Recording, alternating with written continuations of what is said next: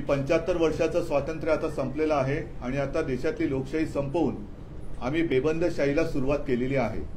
काय सुरुवात करायची आणि काय बोलायचा हा एक मोठा प्रश्न सध्या आपल्या देशात निर्माण झालेला आहे. आज जो निवडणूक आयोगाने निकाल दिलेला आहे हा लोकशाहीच्या दृष्टीने अत्यंत घातक. किंवा मी तर असं म्हणेन की दुर्दैवाने आपल्या देशाच्या स्वातंत्र्याचा अमृत महोत्सव सुरू असताना आपल्या माननीय पंतप्रधानांनी एकदा लाल किल्ल्यावरून घोषणा करायला हरकत नाही की पंच्याहत्तर वर्षाचं स्वातंत्र्य आता संपलेलं आहे आणि आता देशातली लोकशाही संपवून आम्ही बेबंदशाहीला सुरुवात केलेली आहे. आजपर्यंत आपण अनेक उदाहरणं पाहिलेली आहेत की जिथे सरकारची दादागिरी चाललेली आहे.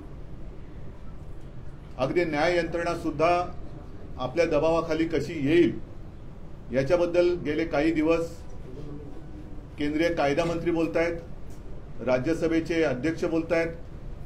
त्यांना न्यायमूर्ती नेमण्याचे सुद्धा आता अधिकार पाहिजेत.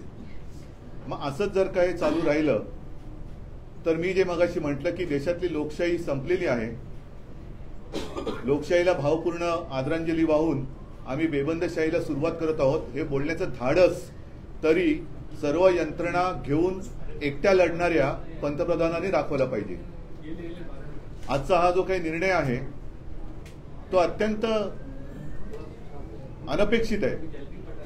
कारण जवळपास सहा महिने ही लढाई सर्वोच्च न्यायालयात सुद्धा सुरू आहे. तिची आता एकवीस तारखेपासून सलग सुनावणी सुरू होईल.